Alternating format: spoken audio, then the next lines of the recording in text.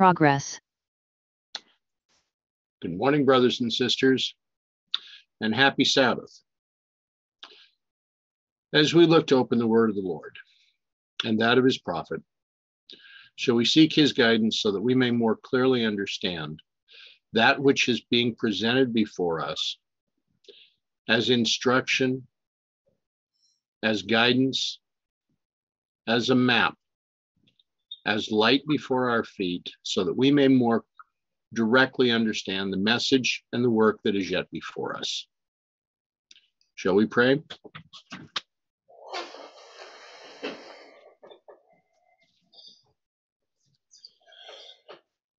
Gracious Father in heaven, we thank you for the Sabbath day, for the rest from the labors of the week,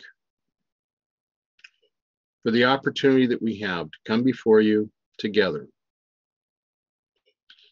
to look, to learn, to observe,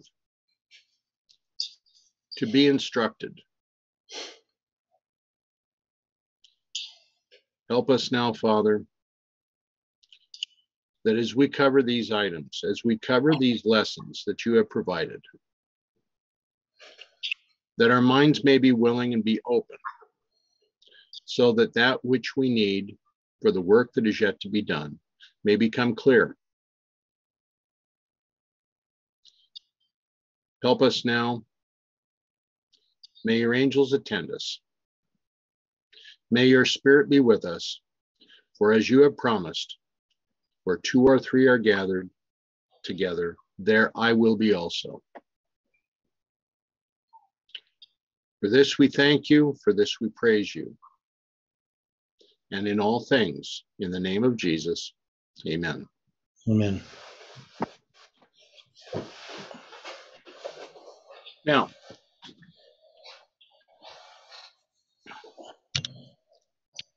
we're going to center on Zephaniah 2, verse 3. Seek ye the Lord, all ye meek of the earth, which have wrought his judgment. Seek righteousness, seek meekness. It may be that ye shall be hid in the day of the Lord's anger. What does that verse have to say to us today? What instruction, what guidance, and what blessing is it offering? Well, that God's going to protect us in, the, well, during the time of the plagues. That is, if we are seeking judgment, which is, and righteousness and meekness. Okay. Now, last week we left off in reading several portions from Mrs. White's writings that have an interrelationship with the book of Zephaniah. We're going to return to that now.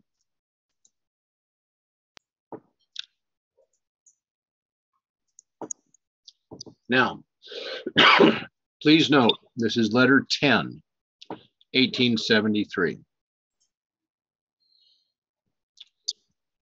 So we're dealing with a letter that is written 29 years after 1844, right? Um, yep, that would be correct. We're dealing with the 10th letter. Now, is there anything symbolic about the number 10? Well, it can refer to a test. Okay.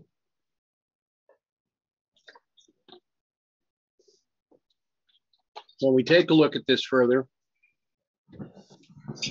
the date of the letter of May 14th, 1873, when we look this up with the calendar converter, it is written on the 16th day of the second month of 5918. And here it is addressed to Brother Uriah Smith. We received your letter last evening, but we could not really understand your letter.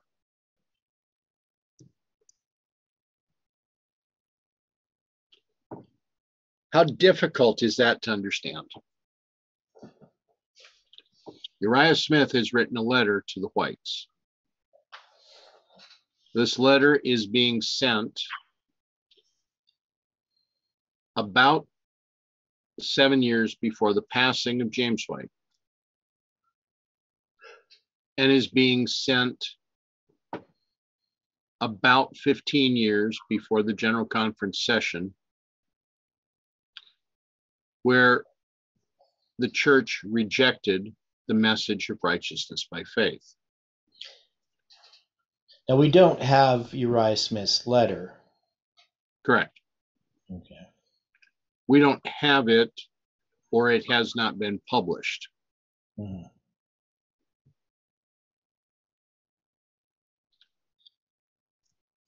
I do not think you understand your own position. The Lord has not left you in darkness. He has followed you with testimonies of reproof and warning for years. During this time, you have not sensed your condition. You thought you were in need of nothing. What is that saying to us? What, what biblical passage comes to mind for someone that believes that they are in need of nothing? Well, it's Um, in Revelation three about the Laodiceans feeling they have need of nothing because they're filled with goods. You know, they have everything, they, they're complacent. Okay, now you were saying, Theodore? Yeah, um, could you have that? Obviously, the Laodicean message. Um, and you also have, uh, there is a section which I can't remember where it is. But anyway, it'll come to mind uh, in Paul's writings where Hi, guys. about this. Hi, Mark. Hi. I say hi, and Yeah. I will share what I did say to Theodore last day. I will share at two o'clock. I heard God saying in my heart, Why you are mad at me? I will say it at two o'clock. Okay. I will repaired. Okay, thanks, Mark. So she is being gentle. You thought you were in need of nothing. You could not see why you were not about right. The testimonies of reproof have appeared to you uncalled for. Your great lack has been of coming up and taking your position in seeing and reproving wrong. I called upon you at your house to try to help you. I felt that I had a duty to do in saying to you what I did in regard to the case of Brother Aldrich, that your non committal position sustained him in his wrong course. Your influence and Harriet's did sustain and justify the cause of J.M. Aldrich. Have we seen recently a non-committal position? Especially where wrongs should have been reproved? Mhm.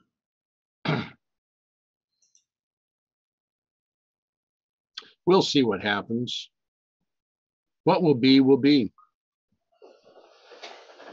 I'm not going to take a stand on one side or the other.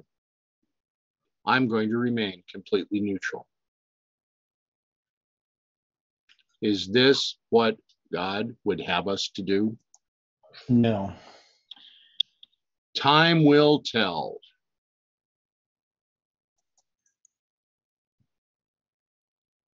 Nice phrase. Your great lack has been of coming up and taking your position in seeing and reproving wrong. Mm-hmm.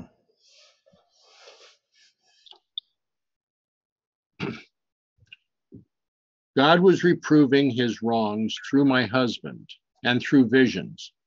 But notwithstanding the testimonies of reproof, the wrongdoers had your sympathies, and the reprover of wrong, your suspicions and distrust. You were supporting the wrong side. J.M. Aldrich pleased those who had but little spiritual discernment.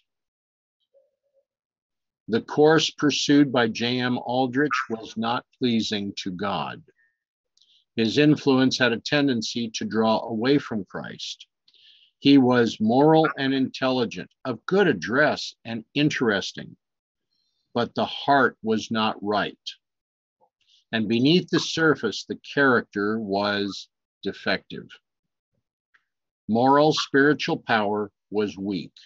His influence upon you and many others was not of a spiritual character.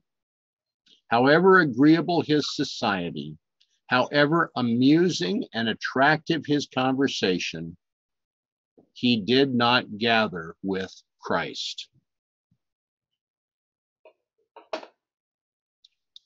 Under whose banner are we to stand?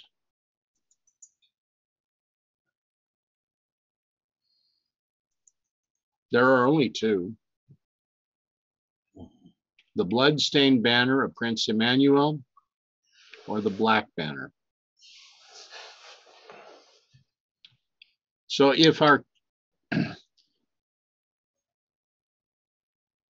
if our society is agreeable, if our conversation is amusing and attractive, Are we then gathered with Christ? We need to have our yes be yes, our no be no. We need our direct influence to be that for and of Christ. And it does, go ahead.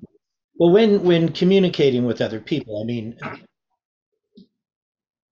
we can't always be too direct. If we're trying to to communicate not, and convince somebody of truth um, you know we have to be somewhat you know wise as serpents and harmless as doves. But sometimes in doing so we think that we're winning people um, when we're not because there are things that are error that we do need to speak out against. And when we we take somebody and we allow them to uh, i guess maybe in a sense we flatter them even though they're teaching error as a way to win them it's actually not beneficial. I, don't know how to, to, really say it but um, people need to know clearly where we stand on an issue agreed Yeah.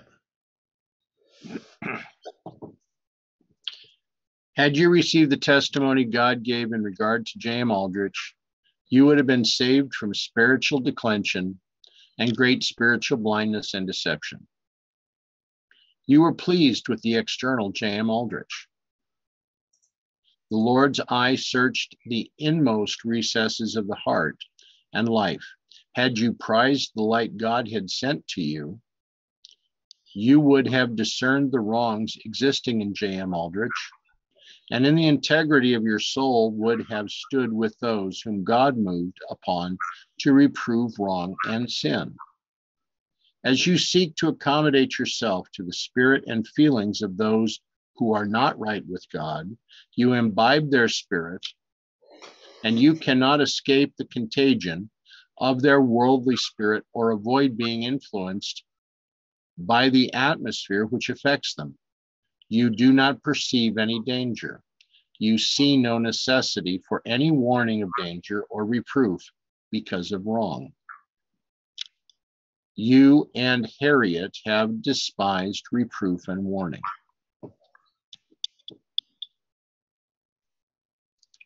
Their household shows to despise reproof and warning. Their marital community was knit together to despise, reproof, and warning. The Lord knows the value of the soul. He who withheld not his own beloved Son to save man would warn and reprove when he sees there is any hindrance to souls attaining salvation. God sees their dangers and sends words of warning to awaken fear. But if those warned are not devotional, if spiritual darkness has blinded their eyes, they cannot see their danger. This, I have been shown, was your position.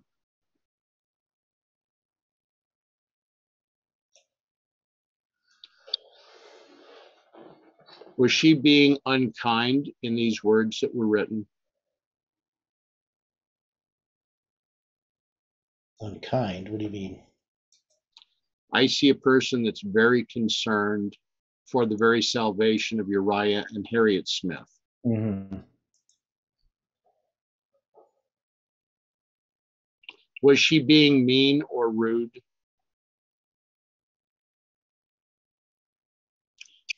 No. Is not mean or rude. Okay. Uriah, you and Harriet have lived at so great a distance from the breath of heaven and the influence of the society of heavenly angels that your feelings and fancy have been in unison with the sympathies which unite human society. You assimilated more and more to their temperament, though they breathe not the atmosphere of heaven and are not in communion with God.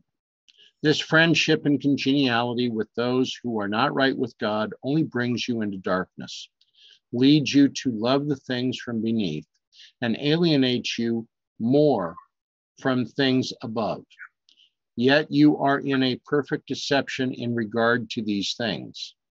A spiritual lethargy has been from year to year gathering and growing about you until it threatens to destroy your usefulness and your souls, while at the same time there may not be marked transgression or grievous wrong to human eyes. While you feel that all is right, you have imperceptibly been sliding away from God and inhaling an atmosphere that will stupefy your moral sense of right and wrong and confuse your spiritual judgment so that you cannot discern right. Wrong will appear right, and right will appear wrong.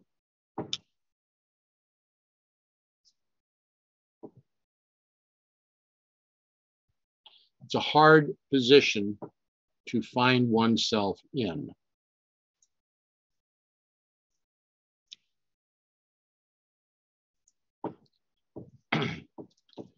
You could be a man after God's own heart if you stood unaffected by de- deleterious influences.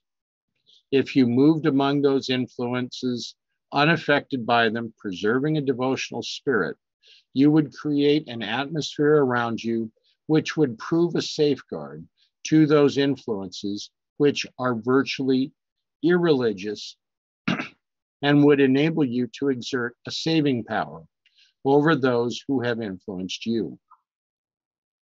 You could, by consecration to God, maintain a high degree of spirituality and so surround yourself with the light of heaven that you would be in no danger of contamination in the sphere of action to which God has called you by his providence.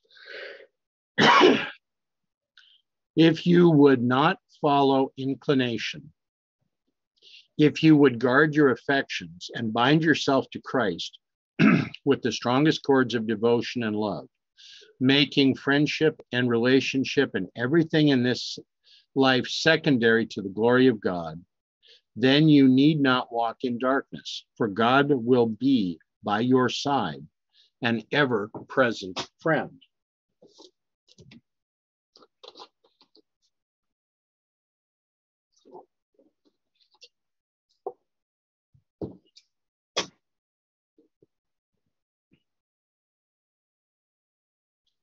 Brother Uriah, you remarked to me that you could not go with Brother White in his course of dealing with Brother Aldrich, that things were chain, charged to Brother Aldrich that he was not guilty of. I asked you wherein. you referred to the debt of lumber that Aldrich was blamed for selling to Russell when he was not to blame in the matter. I then explained to you the facts in the case. You could not remember anything in regard to the circumstances, although to my certain knowledge, you were there and witnessed the whole matter. But your discernment was perverted. You could not feel over the matter and discern the true situation of faithful men. This feeling was expressed. Unfaithful men. Unfaithful men. This feeling was expressed, confirms that which has been shown me in reference to your position in connection with these men who were unfaithful and dishonest before the Lord.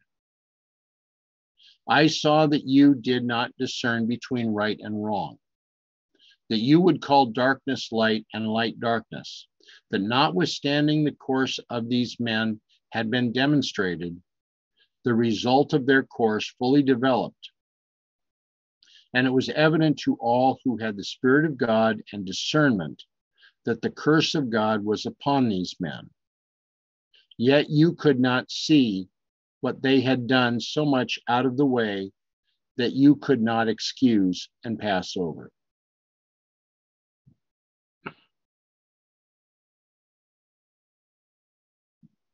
In sympathizing with them in their wrong, you were a partaker with them. You sustained them in their positions. In the last view given me, I saw that in standing on the wrong side in these cases, your judgment was perverted, your discernment blinded. You thought that if, Brother White would not stir up things by reproving, everything would move along quite smoothly.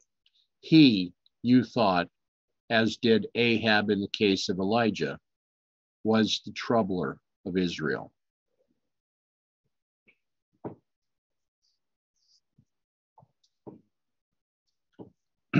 in the case of William Gage, you could not see that there was so much out of the way with him. You enjoyed to chat and laugh with him. You could not see why he was not the man for the place if you have if you could have seen as God seeth, if you could have looked upon his case as God viewed it, you could have taken your position. And your words and actions would have been of such a character that you could have been a transforming influence over him. Your position in the office is of such importance that if you take an easy position, let wrongs and sins pass along as though nothing were the matter, it would be next to an impossibility for others to correct these wrongs. Your non committal position, saying and doing, your non committal position, saying and doing nothing unless it be to strengthen the side God is seeking to weaken, stands directly in the way of those who would correct error and who would set things in order. In William Gage's case, your influence sustained him, and you were a partaker of his sins. God's frown is upon the entire family. If we choose not to reprove wrongs, are we then not partaking in the sins that we seek to shun to reprove?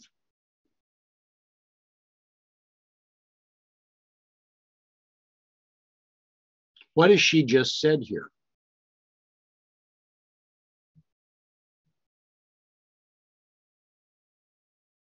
How are we to accept this testimony?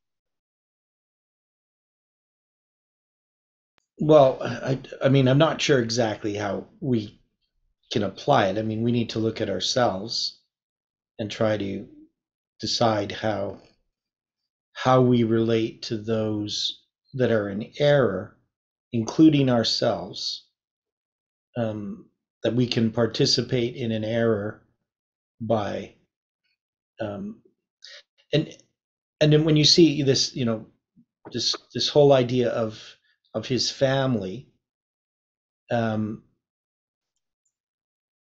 there's just this tendency to excuse evil.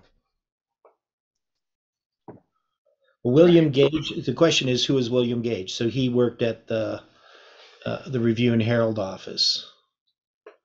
Um, if you read in the SDA encyclopedia when it talks about him, doesn't really say anything negative. I mean, he left the church for a short time in the 1870s, um, and then came back, and then he was ordained as a minister. He also worked in uh, writing the obituary with Uriah Smith of James White. So, and he eventually did resign and left uh, Adventism, it appears, somewhat later in life, I think. Just looking at it briefly here. He was only 65 when he died in 1907.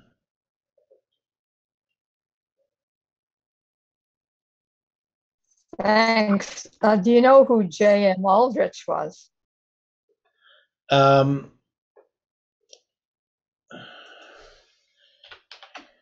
I couldn't find anything. I just I saw something on Aldrich, but it wasn't him.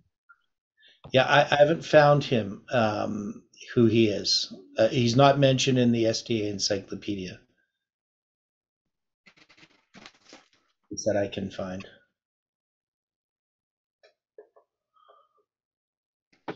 Okay.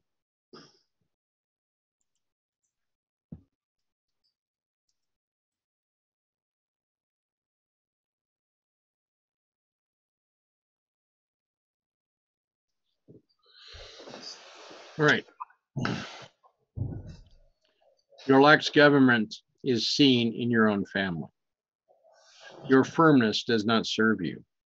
You permit your children to come up instead of training them, restraining them, and disciplining them. The same deficiency is carried out and developed in the office and in the church. There's a defect in your character to be easy and pleasant and agreeable to those who are an offense to God, while those are tr- who are thrust in by the Lord to bear reproof and testimony of warning, you think unduly severe and stirring up strife. Harriet has had great influence upon you in your married life, in molding your character. And for this, she must answer to God.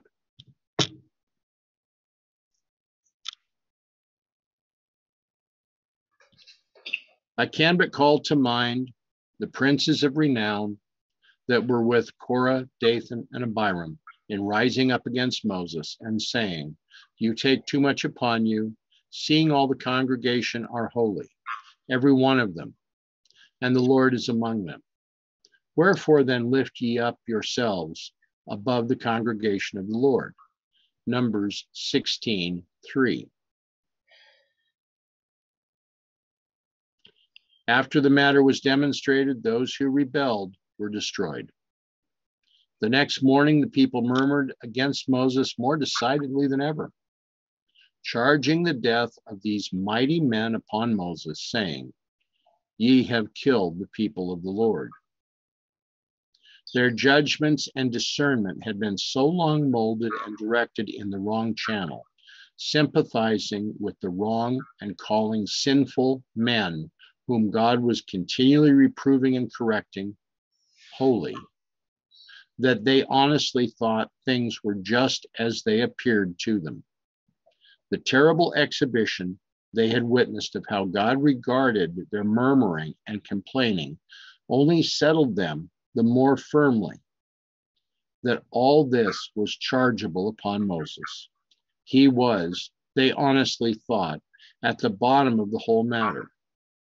And these good men that the earth swallowed up were the martyrs standing in the defense of Israel.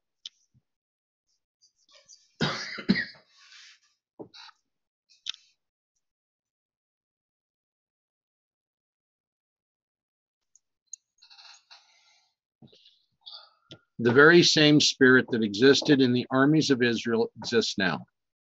The very same hatred of reproof and the very same spirit is seen when efforts are made to correct the wrongs and set things in order among the people of God now, as in the days of Korah, Dathan, and Abiram. Okay, so so one um, question here, I guess, or comment. So so we know that wrongs do exist. And and and the question is how do we go about trying to correct wrongs? I mean, it, it's it's not it's not necessarily an easy thing, right? It's not something that um, that we we have um, because you know you don't want to chase people off. So there's you know the struggle that we go through. Let's say there's uh, uh, see i think part of the problem is there are wrongs that are easy to reprove and wrongs that are difficult to reprove and the more important a person is the more difficult it is to reprove their wrongs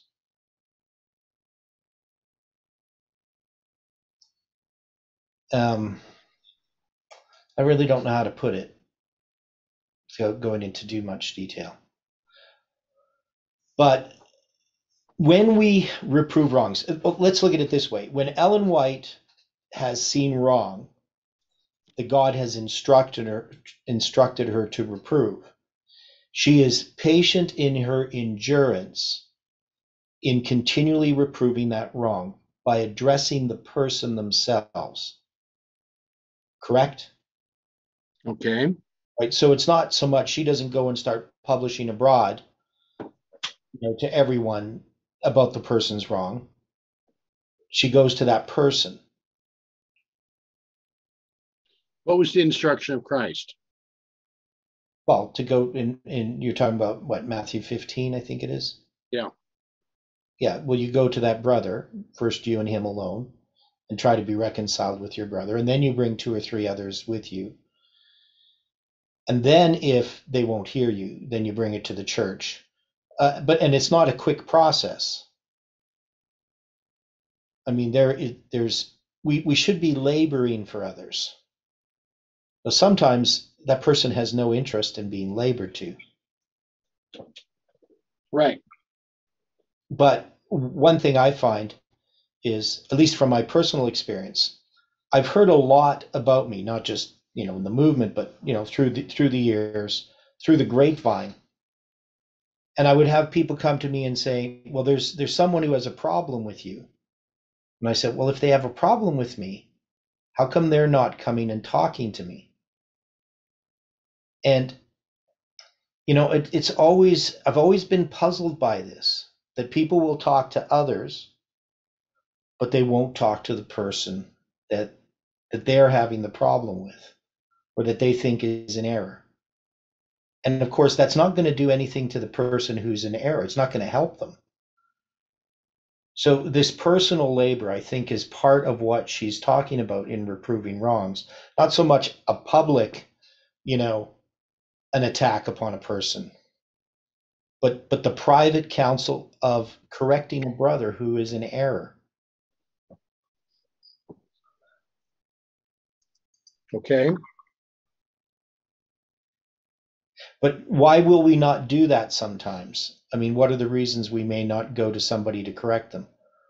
Uh, there's could be a number of reasons. One is they may be in a position of power, and we may fear uh, the results of um, being on the wrong side of that person. Um, there could be other reasons. Maybe you know, just we personally want to be friends with that person that might be connected to that idea. Or we also may have things in our own lives that need to be reproved and corrected. But if we start to reprove and correct others, then that that would bring focus to the things in ourselves that need to change.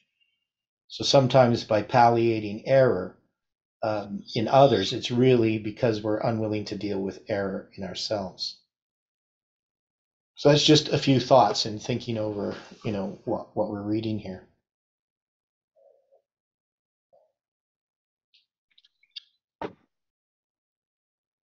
As I read this letter,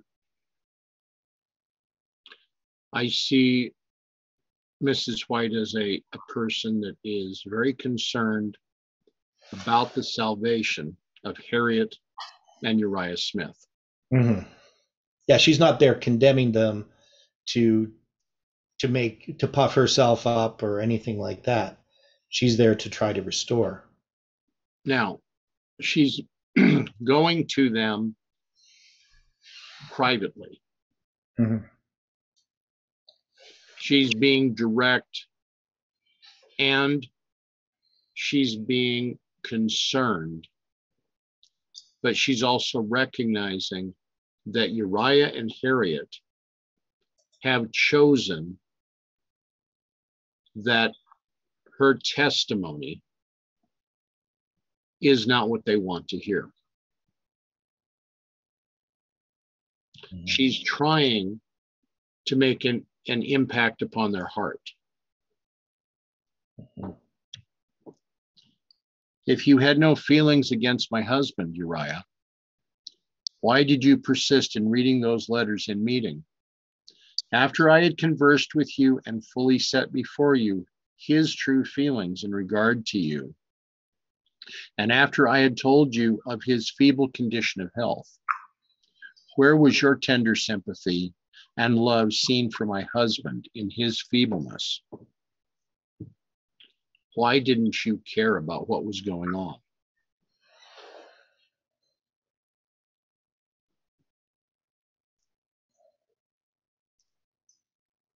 He had shown how much he had your interest at heart by seeking to work things and plan for your temporal matters that you might be advantaged. You had not cause for your feelings. Your feelings, I have not the least hesitancy in saying, were unjust and cruel. I think a spirit comes upon you to sustain wrong so firmly that if you knew and some others knew that your course would bring discouragement upon my husband, which would cost him his life, you would, in this particular instance, have a special zeal to carry out your feelings, even to the bitter end. But your zeal does not get roused to correct real wrong that God reproves and heaven condemns in sinners who have hindered the work of God and cursed his cause, who have been entreated and reproved and warned repeatedly for years. Your firmness slumbers and does not come to you, and you are powerless to reprove and withstand, notwithstanding the honor of God's cause is in peril.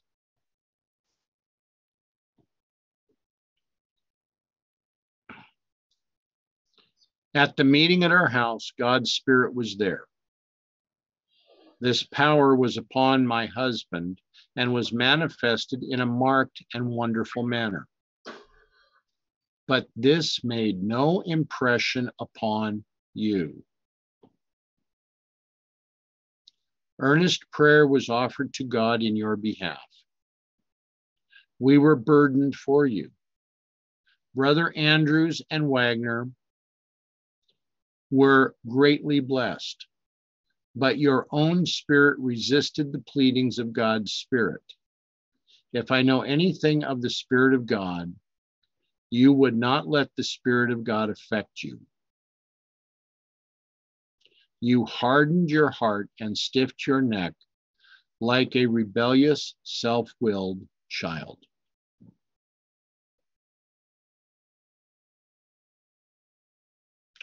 Who else was said to have a hard heart? whose heart had been, had been stiffened by the Spirit of God. Was it not Pharaoh? Were the children of Israel not noted as being a stiff necked people, especially where they were reproved by Moses by Joshua, and by the judges? By Stephen, too. All the way through, when they were confronted with words of reproof, did they not rebel? Mm-hmm. Oh, how appropriate would be all this firmness have been if exercised to correct those who were wrong, who were in sin, who were dishonest before God, whom his frown was upon. You can have a set will, a determination, when you choose to have it, but unfortunately, it is on the wrong side. The very one who deserved your sympathy and your love and affection and thoughtful consideration did not get it. Had you come up to the help of God by the side of my husband and united with my husband to call wrong wrong and dishonesty dishonesty, there would have been an entirely different state of things in the office and in the church. The human heart is deceitful above all things and desperately wicked. Oh, that your energy and determination could be exercised in standing before the right.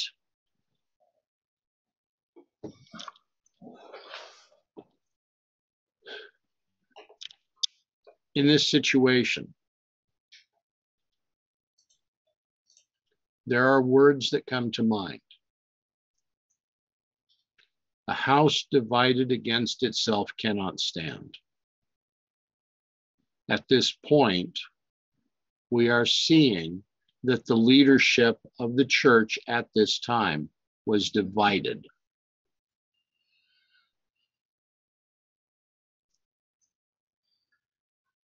Do we have the same issues today within the movement? Is there a spirit of disunity within the movement? Are we a house divided? Are we Amen. are we personally fomenting that division or are we seeking to become unified one to another?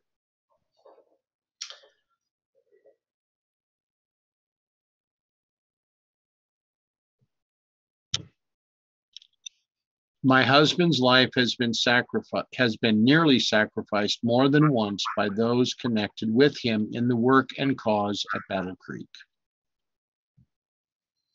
Yet he does not awaken sympathy. He does not excite pity. But those who have brought reproach upon the cause of God have your pity and your sympathy. I was shown that Brother Smith and Brother White should stand together as two pillars in that office. Pillars are the most important part of the building. They support the building. If these two would have stood united in heart, the tone of the office would have been much more exalted. God calls for workers in the office and in the church, men who will realize the greatness of the work and be wise builders in this great cause. Eternity alone will reveal the results of such workmen. God's eye is upon every worker in the building. God's eye is upon every member within the movement. God's eye are, is upon us individually always. The importance of everyone's influence is measured by the great inspector. The riches of glory are reserved as a reward for faithful workers. For the perfection of the building they are erecting, its symmetry and beauty depend upon the united faithfulness of the true, willing workers. Those who would give indulgence to sin are unfaithful workers, in whatever position they may be serving. God designed that Uriah should be a very important and efficient worker in rearing the great building, but he was in danger of suffering the work to be marred and corrupted, where he should be vigilant to see that it was perfect.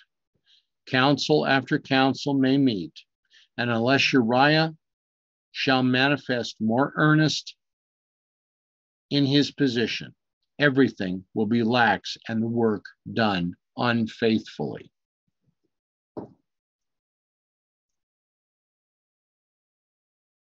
Earnest there refers to um, basically like a down payment.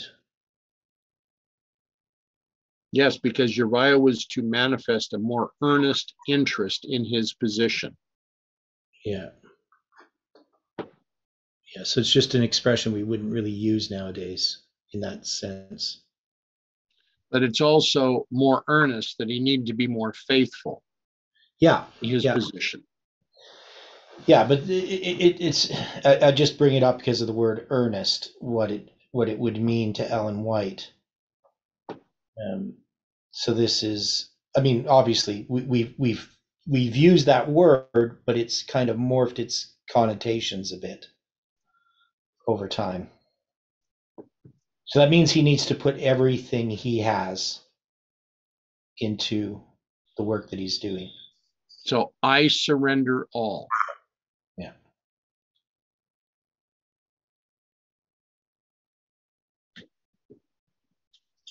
Zeal is required of those in responsible positions in the office, not a zeal to clothe wrong with a dress of righteousness or to make sin appear purity. By calling things of their right name, Uriah may stir, he may irritate, yet this will be the very work that God would have him to do. Let the result be what it may. The work is God's, and he designated that Brother Smith should be a finished worker, writing, preaching, and visiting different states, and spreading the knowledge of the truth in every possible way he can. But he is not safe unless he works in unison with the Spirit of God. And God works through him. If he refuses to be the workman God would have him, God will have a man ready to do the work he designated Uriah should do.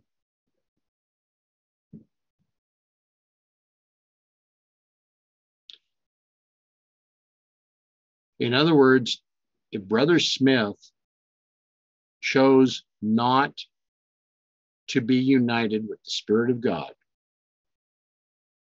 that another would be brought to the fore to do the work that had been initially planned for Brother Smith to have done.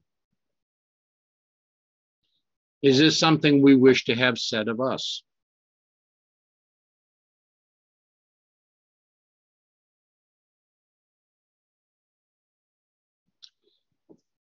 God would have Brother Smith visit foreign countries as his missionary if he would do the work of God thoroughly and faithfully. If the same irresponsible position is carried out by him in the future as in the past, the most limited his influence, the better. He will not, he cannot build up any cause. The same lax, irresponsible course he has manifested in his family and carried out in the office and in the church disqualify him for being a man after God's own heart. He does the work of God negligently. The curse of God rested upon Meroz, not because guilty of enormous crimes above others, but for neglect. There was a work that Meroz shunned. Curse ye Meroz, said the angel of the Lord. Curse ye bitterly the inhabitants thereof, because they came not to the help of the Lord to the help of the Lord against the mighty. Judges 5:23. The powers of darkness are at work and are brought to bear more upon those who are engaged in advancing the interest of God's cause. Satan will come in at every avenue, every spot that is not guarded. There will always be a work to do to defend the right and to condemn the wrong. I saw that Brother Smith's mind had been molded by his past experience in his connection with Sister Smith, and that his sense of wrong was not acute. Satan would plant his hellish banner in his own house and in the office, and he did not perceive it, but think that it was the banner of the cross of Christ. Brother Smith's position has been a defective one. God wants men who have spiritual eyesight, or they are good for nothing in his cause.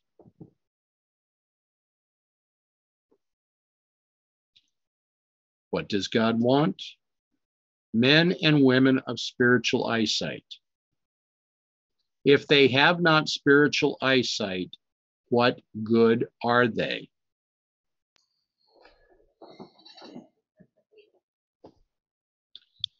Cursed be he that doth the work of the Lord deceitfully, and cursed be he that keepeth back his sword from blood. Moab hath been at ease from his youth, and he hath settled upon his lees. Jeremiah 48 10 and 11. The wrath of God was kindled against Saul because he did not carry out his work of justice in the smiting of Amalek and utterly destroying them. And it shall come to pass that at that time that I will search Jerusalem with candles and will punish the men that are settled upon their lees and say in their heart, The Lord will not do good, neither will he do evil. Zephaniah 1 verse 12. Brother Smith has excellent qualifications, but he hath a work to do that he has excused himself from performing. And he has not sustained those whom God has called to reprove sin and wrong. Therefore, spiritual blindness has come upon him. These words and this warning were given in 1873.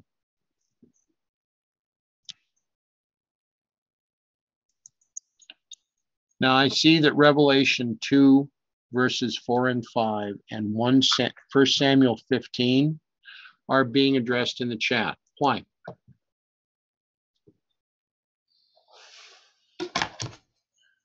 One of them is a warning about the candlestick being removed because the person or the church being addressed has lost his or their first love. And then the second one is about Saul, and he refused to, like the, you know, the the, the, the Amalekites right to the end, like take everything, destroy everything, them and everything they owned. And Samuel reproved him and said that that his disobedience was as the sin of witchcraft and idolatry.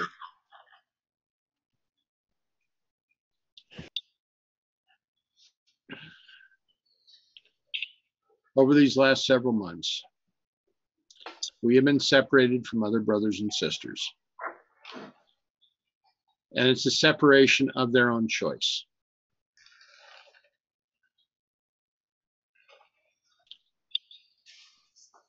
Was Uriah Smith separated from James White by the choice of James White? Nope. Who then created the separation?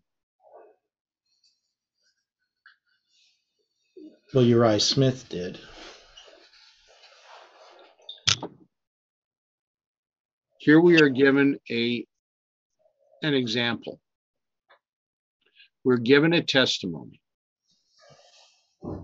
Mrs. White is very concerned about the spiritual future of Uriah Smith.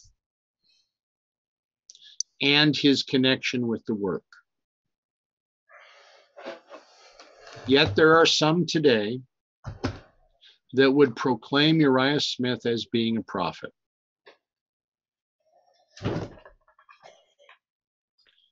Here we have an example. That Uriah Smith controlled not his own house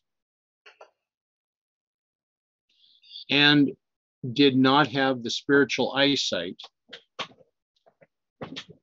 to see the wrong that was being done within the heart and center of the work.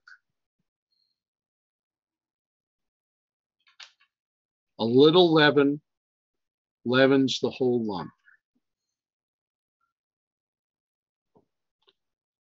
When you have a little bit of sin within the work of God, if it is not faithfully reproved, it begins to permeate through the rest of what's going on. We have a great need of repentance.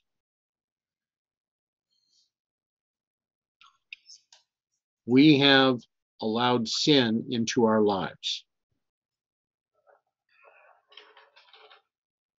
We need the repentance and the Spirit of Christ upon us so that we may more truly see our great need of repentance before we attempt to give any kind of message to the world.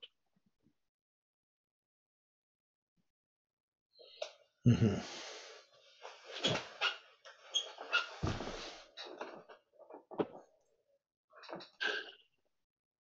Testimony 23. I saw that many who profess to be keeping the commandments of God are appropriating to their own use the means which the Lord has entrusted to them and which should come to his treasury. They rob God in tithes and offerings. They dissemble and withhold from God to their own hurt. They bring leanness and poverty upon themselves and darkness upon the church because of their covetousness, and in dissembling, in robbing God in tithes and offerings.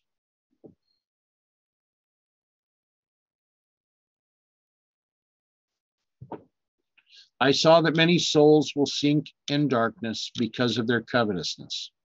The plain, straight testimony must live in the church, or the curse of God will as surely rest upon his people as it did upon ancient Israel because of their sins.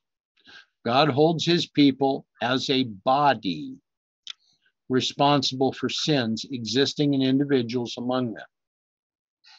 If there is a neglect with the leaders of the church to diligently search out the sins which bring the displeasure of God as a body, they become responsible for these sins. But this is the nicest work that men ever engaged in to deal with minds. I have been shown. Yeah, nice. The word nice means uh, like fine or delicate. Right. By the way, just. It doesn't mean pleasant. No, it doesn't. No. But it's the best thing that can be done for those that need to come to grips with the sin in their lives. Mm-hmm. But but it's a delicate work. It's not something that's that's going to be uh, simple. It's not going to be pleasant. Yeah. I have been shown that all are not fitted to correct the erring. They have not wisdom to deal justly while loving mercy. They will not be inclined to see the necessity of mingling love and tender compassion with faithful reproof of wrongs. Some will ever be needlessly severe and will not feel the necessity of the injunction of the apostle. And if some have compassion, making a difference, and others save with fear, pulling them out of the fire. There are many who do not have the discretion of Joshua and who have no special duty to search out wrongs. And to deal promptly with the sins existing among them. Let not such hinder those who have the burden of this work upon them. Let them not stand in the way of those who have this duty to do. Some make it a point to question and doubt and find fault because others do the work that God has not laid upon them. There's, these stand directly in the way to hinder those upon whom God has laid the burden of reproof and of correcting the sins that are prevailing, and that his frown may be turned away from his people.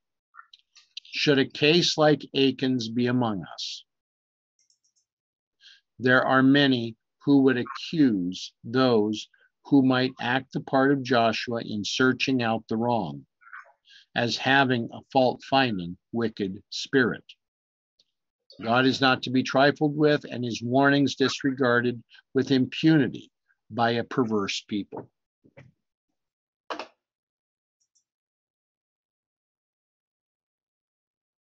What's being said here? What instruction do we see for ourselves right now?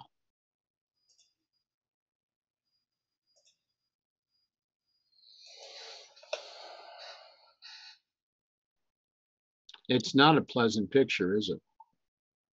No. I was shown that the manner of Achan's confession was similar to the confessions that some have made and will make among us. They hide their wrongs and refuse to make a voluntary confession until God searches them out. And then they acknowledge their sins. A few persons pass on in a course of wrong until they become hardened. They may even know that the church is burdened, as Achan knew that Israel were made weak before their enemies because of his guilt. Yet their consciences do not condemn them. They will not relieve the church by humbling their proud, rebellious hearts before God and put away their wrongs. God's displeasure is upon his people, and he will not manifest his power in their midst while sins are existing among them and fostered by those in responsible positions.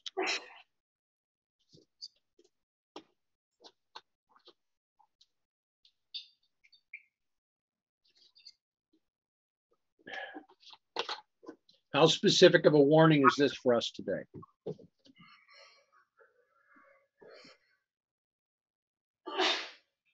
How much is God trying to tell us now about our own individual condition?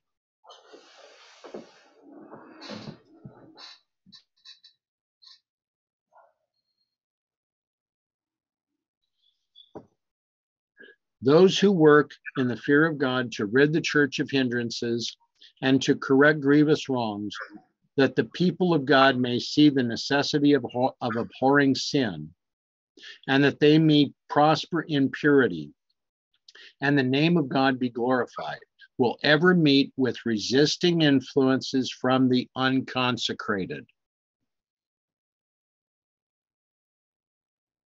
Zephaniah describes the true state of this class and the terrible judgments that will come upon them.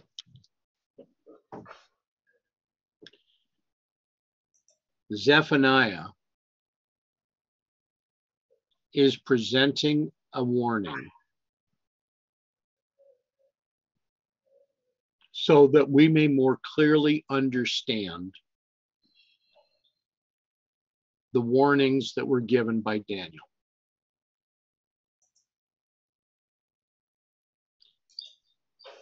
Zephaniah is giving the first warning.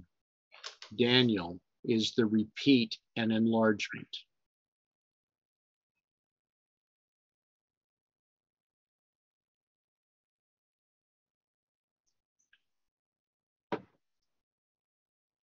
There are many times that we need to question things that are being said. There are many times that we are needing to ask those that are choosing to present what their presentation is about so that we may more clearly understand what they are saying and why. If there are those that believe that the questions are unduly severe or are unwarranted, we have to ask ourselves, in the light of this warning from Mrs. White, are we of the accusing attitude? Are we trying to cover up that which should be uncovered?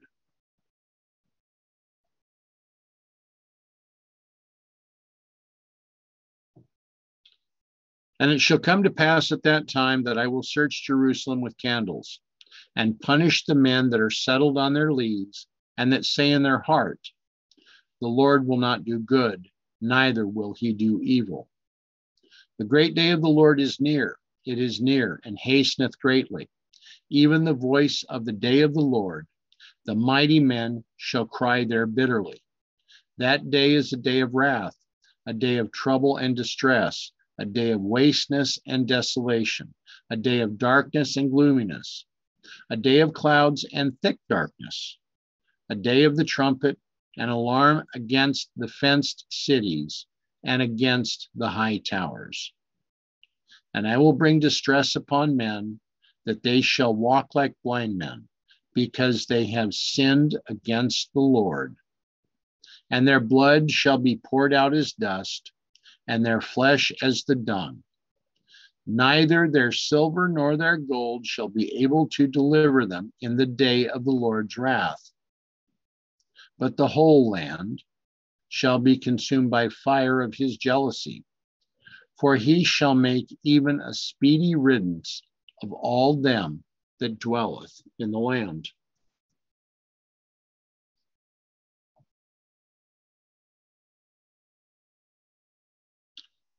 This is the warning that Zephaniah was giving.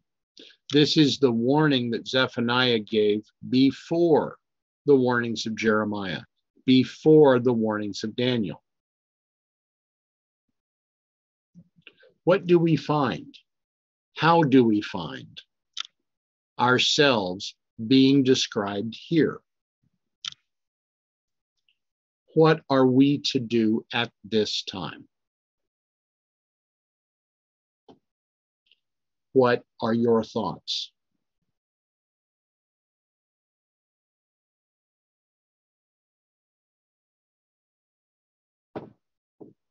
so when we look at at these verses here um, this verse about searching jerusalem with candles and punishing the men that are settled on their lees that aren't stirred up right Okay.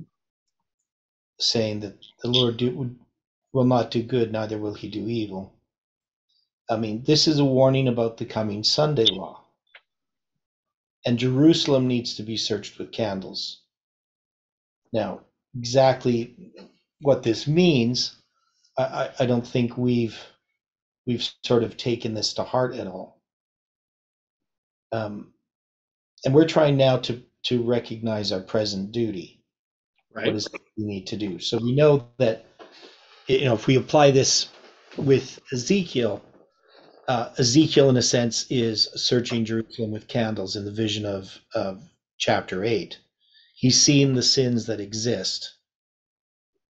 And so, primarily, first, we apply this to ourselves.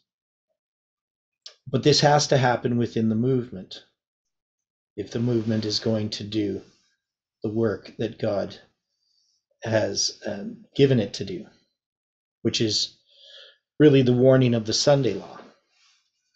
Not that the movement itself just does it, but it, it starts here. Um, because really, other people don't understand the Sunday law. We understand the Sunday law, at least we should, in ways that Adventism in general does not. So. Now, It's not an easy message. No, it's not. For further consideration, you will find much of this was presented a second time by Mrs. White in the Review and Herald article published 23rd of September of 1873. And it was entitled The Laodicean Church. Now, the 23rd of September 1873, in the biblical year's calculation, would have been the first day of the seventh month of that year. Yeah, which is interesting because uh, September 23rd, 2017 was also the first day of the seventh month. And that was the message of July 18th as the prediction before midnight. And the first day of the seventh month, according to the feast at that time, would have been what? It's the Feast of Trumpets, starting with Rosh Hashanah. Is it also not calling us with these Feast of Trumpets to recognize that the Day of Atonement is soon to be upon us? Mm-hmm.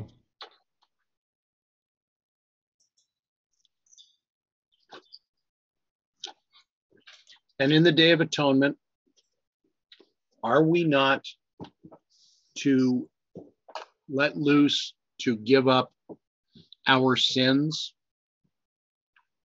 to let those sins go on to judgment before us?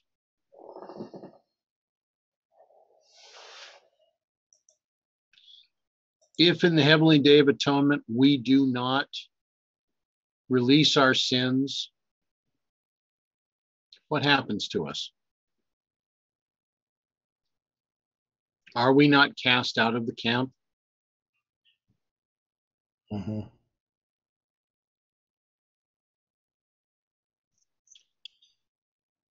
This, as I look at this now, I'm, th- this is just a strange question because I didn't look at this before this meeting. But going from the 14th day of the second month of that year to the first day of the seventh month would be how many days? From from the which day of which month? 14th day of the second month. Okay, so so you're gonna yeah, I see what you're saying. Um,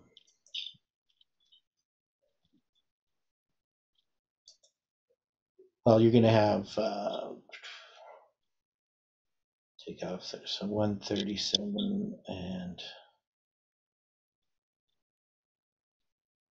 So 147 days, three times 49. 147.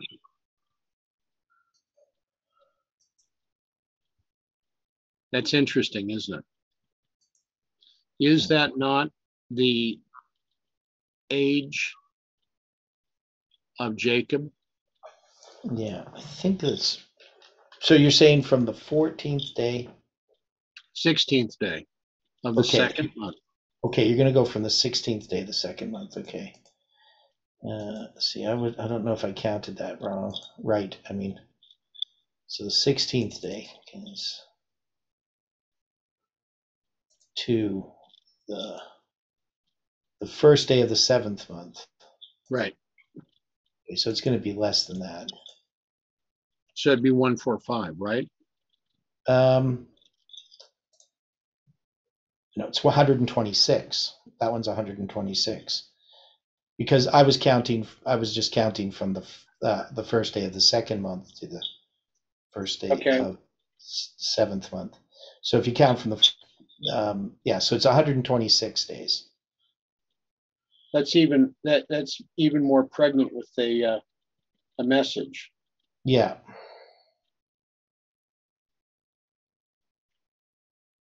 So between the times of publishment of this article exists 126 days. another symbol of the seven times of Leviticus 25 and 26. Mm-hmm.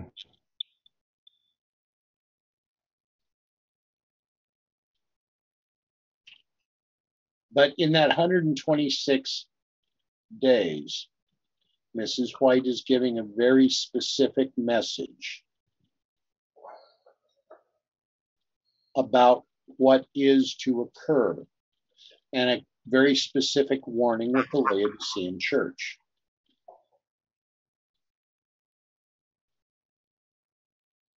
One message was to a leader. One message is to the church itself.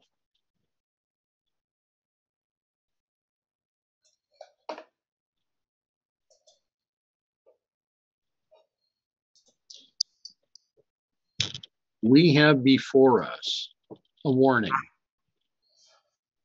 from the book of Zephaniah.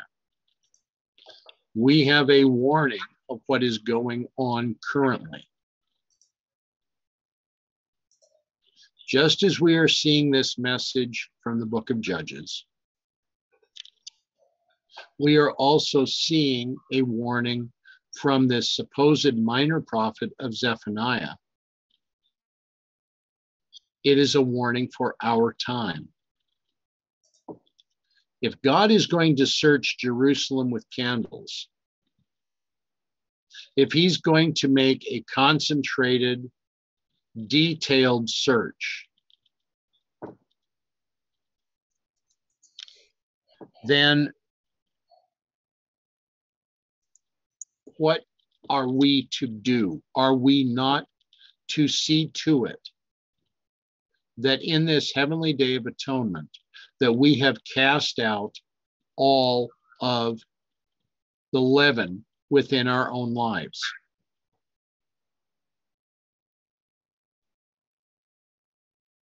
Are we not being called to repentance by the warnings of Zephaniah?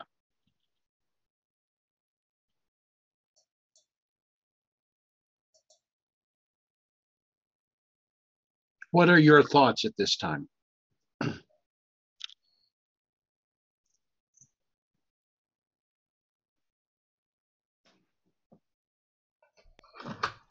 I'm fearing for this movement. if we don't all repent, we're going to be destroyed. The movement is likely to fall apart, except for extremely few that remain. The, the infighting will increase. The curse of God will come upon those who refuse to repent. And frankly, my stomach, like I feel a tension in my gut right now. This has cut me to the heart. And I tried to address it a bit uh, gently, and I got that I should take the matter up with three, a certain three people. I thought, I don't want to do this just before Sabbath. I don't want to do it on Sabbath. This coming week, hopefully, I'll have my Ellen White app and everything else back here and I can find the pertinent uh, passages that people need to be referring to. And you know, and I, I mean, I can use the Bible and all that. I can share some ways like the Lord has been dealing with me. But I have that fear. I really have that fear that I am going to be rejected, attacked, and everything. And if that happens, then woe to anybody else. Like I'm nobody. I'm absolutely nobody in this movement, right? And, and I think I desire to be to remain that way. But God, if He's laid this burden on my heart, I have to step forward and do it.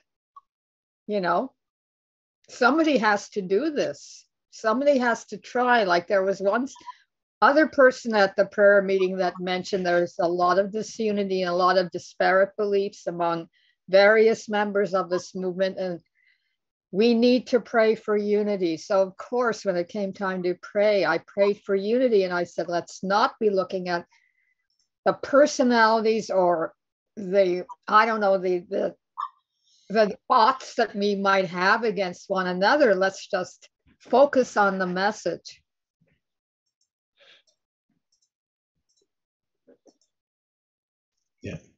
Well, I, I, get 132 days now, so I don't know what I did to get 126. But um, must have done something wrong. Um, but as far as you know, to bring about unity, we know that it starts with us individually, but also following the counsel that God has given. So, if we feel that someone's in error, we should make um, take the time to to minister to that person and to restore them. If we believe that someone is in error, should we not examine their position? Yeah, well, that's one thing we do. Yeah. If we examine their position and their position is right according to scripture, then we need to examine our own hearts. If, however, their position is not right according to scripture, Mm-hmm. we have a duty to address this with them. Mm-hmm. If they will not see the issue in the light of scripture, we are then to take others with us, right? Mm-hmm. We're in the situation right now where there are some that believe that the examinations that are being called for are unduly harsh. Was God harsh in dealing with Achan? Well, that'd definitely be much more harsh than anything that's happening now. But was he harsh in dealing with Achan? Well, he was fair, and and definitely the the punishment was was was severe. I mean, it's about as far as you can go. Um, I don't know. The word harsh is is just one of those loaded connotative terms. Did God not give a warning as to what was to happen with the items from Jericho? Yes, so he had given a clear warning and counsel. So his judgment was just. Some people considered it harsh, Right. but it was it was fair.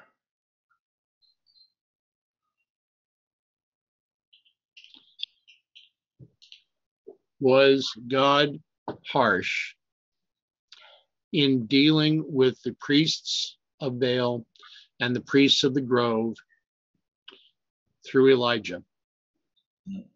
No. Stop warning them. I, I can barely hear you. Yeah, William, I can't hear you. Okay. I'm gonna take that, but I- I'll say it now. Uh, Okay. Um,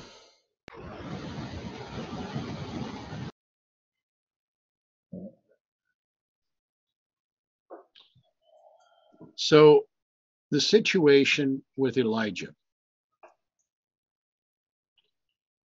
was one where after three and a half years, the people were called together to make a decision.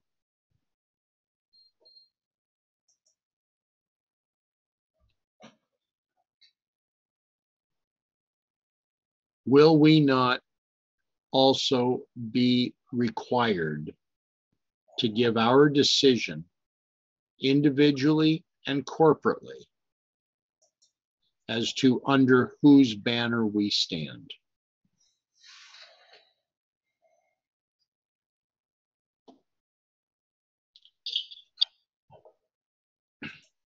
We are going to be searched. We are going to be searched intensely and directly. We have to make our mind up now as to the work that will be done within us. And it is not going to be a pleasant work.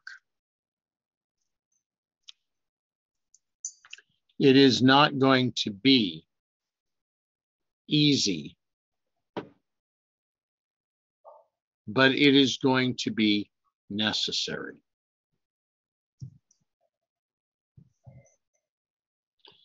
Consider carefully this portion of Zephaniah. We have more to cover within this book where we need to understand before we are able to give any kind of message today. We are drawing close, close to the close of our time together. Do we have any other thoughts or comments at this time? Yes, I have my book, oh, my Patriarchs and Prophets book open here, and I just showed a few quotes from 496 and 497. Okay. The influence needs to be feared by the church is not that of open opposers, infidels, and blasphemers, but of inconsistent professors of Christ. These are the ones that keep back the blessing of the God of Israel and bring weakness upon his people. When the church is in difficulty, when coldness and spiritual declension exist, giving occasion for the enemies of God to triumph, then instead of folding their hands and lamenting their unhappy state, let its members inquire if there is not an Achan in the camp. Well, that's personal sin. Hmm. With humiliation and searching of heart, let each seek to discover the hidden sins that shut out God's presence. And further down, it says there is a vast difference between admitting facts after they have been proved and confessing sins known only to ourselves and to God. So confessions will be made by the guilty when they stand before the bar of God, etc., etc. Then it says, so long as they can conceal their transgressions from their fellow men, many like Achan feel secure and flatter themselves that God will not be strict to mark iniquity. All too late, their sins will find them out in that day when they shall not be purged with sacrifice or offering forever. And then talks about the records of heaven being open my goodness we need to be aware that the records of heaven uh, i mean our everything we do is being recorded at this moment. We are actually being judged moment by moment. This is the sealing time. We need to get really really serious. And i'm thinking so there's so many times i've been wishy-washy and and inconsistent. And, and this speaks to me as much as to everybody else you know and and I'm asking the Lord for forgiveness and to make me as strong as, as steel, so to speak, or to be fervent in his service and to be true and uh, and I don't know all the goings on behind the scenes. I don't know any of you all that well. I don't know much of your background or anything like that, but I have a respect for all of you. And I sure have a contempt for the the garbage in my own life and and the way I because I'm thinking if if there's a weakness in a building. I'm thinking we're all individual stones, and if one of us is crumbling, if one of us is is decaying, then the whole building will will will be affected. And how much of a of how much guilt do I carry for not strengthening the movement? You know, it's very very serious.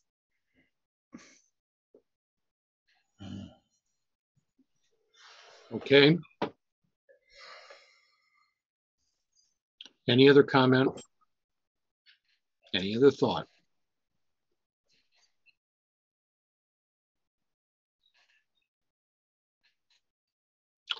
Shall we then close the meeting with prayer?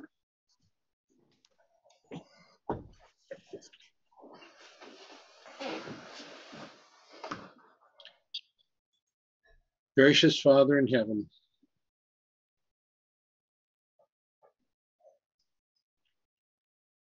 As we look upon Christ and we see our characters in a mirror, we see ourselves clothed in rags. There is nothing that we have of ourselves to commend ourselves to you.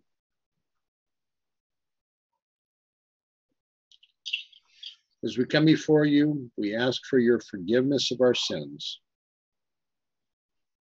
We ask, Father, for your guidance. We ask for your strength. We ask for your mercy. Help us that we may be clothed in your robes, not in the robes of our own making. Help us, Father, that your guidance and your direction may become clear, so that we may give up our sins, including those cherished sins. Help us to become the witness that you would want us to be at this time in Earth's history. Help us now. Be with us through this Sabbath. May your will be done. May we enter into this rest and be truly blessed by you, by your Spirit, and through your Son.